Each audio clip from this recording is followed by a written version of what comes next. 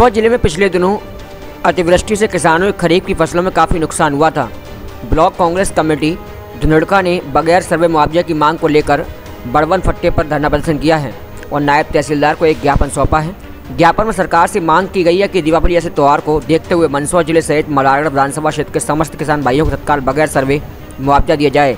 साथ ही विरोध स्वरूप मुख्यमंत्री का पुतला ही फूंका है। धरने के विधानसभा प्रत्याशी रहे परशुराम सिसोदिया, ब्लॉक कांग्रेस अध्यक्ष किशोर गोयल जिला पंचायत सदस्य दीपक सिंह चौहान, जिला कांग्रेस सचिव बालेश्वर पाटीदार, प्रदेश प्रतिनिधि प्रवीण मांगरिया, जिला प्रवक्ता सुरेश भाटी आदि ने संबोधित किया। संचालन राम लक्ष्मण धाकड़ ने किया एवं आभार, मनीष शर्मा ने माना।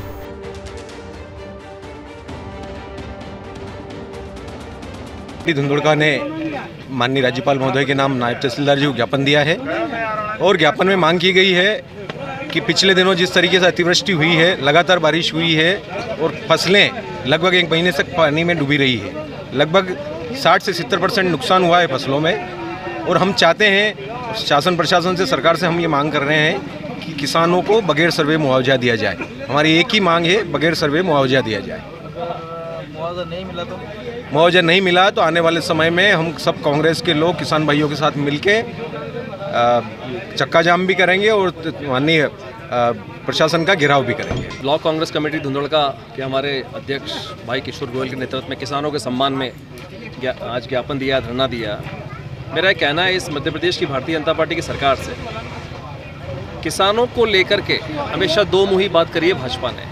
हमारे मंदसौर ज़िले में दो दो कैबिनेट मंत्री हैं। विशेष रूप से मैं इस जगह की बात करूँगा, जहाँ बड़वन फंटा, जहाँ पर हमारा धरना और ज्ञापन हुआ। ये मल्हारगढ़ विधानसभा का क्षेत्र लगता है और यहाँ के विधायक हैं जगदीश देवड़ा। और ये वो जगदीश देवड़ा हैं जो स्वयं मंत्री भी हैं लेकिन एक बार एक भी गाँव में जाकर सर्वे नहीं करा। किसी का, किसान को लेकर के यह आश्वासन नहीं दिया कि मैं आपको पूरा मुआवजा दिलाऊँगा मैं बीमा दिलवाऊँगा। हम कलेक्टर महोदय से मिलने गए वहाँ पर भी चिकनी चुपड़ी बातें हमसे कही गई। तो इसका मतलब साफ़ है कि शासन भाजपा के दबाव में है। वो बिल्कुल नहीं चाहते हैं कि किसानों को मुआवजा या बीमा मिले। मैं बता दूँ कि किसानों को लेकर के भारतीय जनता पार्टी के नेताओं की सिर्फ़ एक राय चल रही है कि हमारे यहाँ तो केवल 10 प्रतिशत नुकसान हुआ है, इनको मुआवजा बीमा देने की कोई आवश्यकता नहीं। लेकिन वास्तविकता में कई प्रतिशत की बात कर रहा हूँ मैं। लगभग 50 प्रतिशत के आसपास किसानों का नुकसान हुआ है। तो हमारी इस धरने के माध्यम से भारतीय जनता पार्टी से मांग है, क्योंकि भारतीय जनता पार्टी के नेता लोग ही शासन चला रहे हैं। कलेक्टर को वो निर्देशित कर रहे हैं मंत्री लोग निर्देशित कर रहे हैं। सब वो वो चीज़ कर रहे हैं। तो इस पूरे गोरख धंधे को नियंत्रित कर रहे हैं अगर भारतीय जनता पार्टी की सरकार है तो हमारी उनसे मांग है कम से कम किसानों को लेकर के अपनी नरमपंथी रुख को अपनाएँ और किसानों को मुआवजा दें।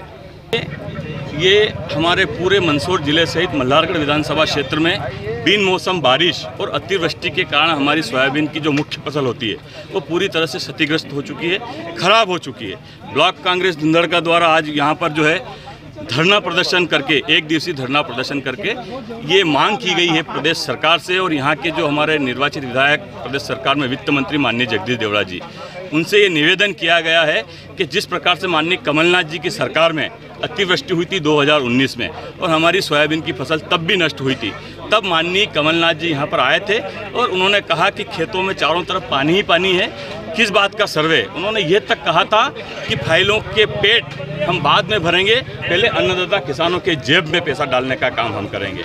जब तक उनका हेलीकॉप्टर यहाँ से उड़ के वापस भोपाल गया, उससे पहले अन्नदाता किसानों के खाते में मुआवजा आने का क्रम शुरू हो चुका था। तो हम माननीय शिवराज सिंह जी से, माननीय जगदीश देवड़ा जी से ये मांग करते हैं कि आप भी कमलनाथ सरकार की तर्ज पे अन्नदाता किसानों को जो है मुआवजा देने का आप काम करें।